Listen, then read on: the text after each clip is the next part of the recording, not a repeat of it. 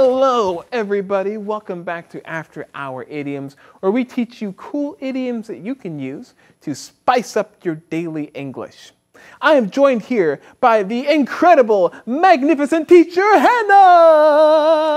Hello, hello. Good to be back here. David. Yes. Do you have any cool idioms for us today? I sure do.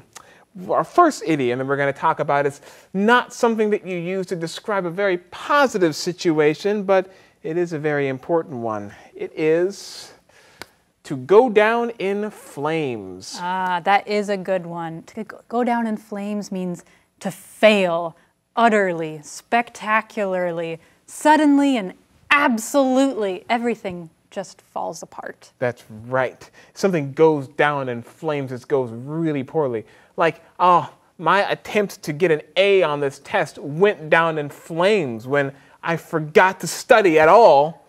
Oh, that's that's a bad situation. That's a bad situation, yeah. right? Even worse than that, maybe there's a politician whose mm. career went down in flames when everyone found out. They cheated to win the election. Oh no, right? But it doesn't always have to be such a serious thing, right? That's true. Maybe you could say, oh, my plan to have a picnic went down in flames when it rained all day. Oh, yeah, yeah. yeah.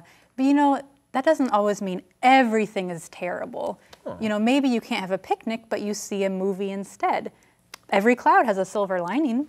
Every cloud has a silver lining. I like that.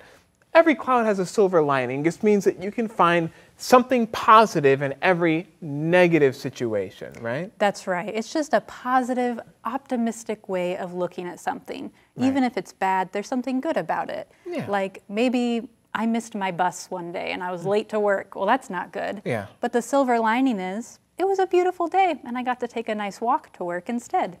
Oh, I like that. Yeah. Or maybe you could say, well, I lost my job because I was late, right? I missed oh, the bus. Man. But every cloud has a silver lining. Now I have a chance to try something new.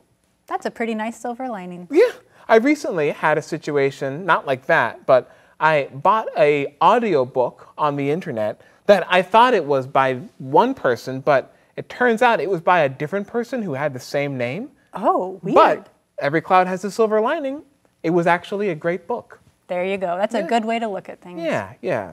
So I hope that you are looking for the silver lining in all the storm clouds of your life and remembering to not give up hope just because something negative happened. We'll see you guys next time, and don't go down in flames.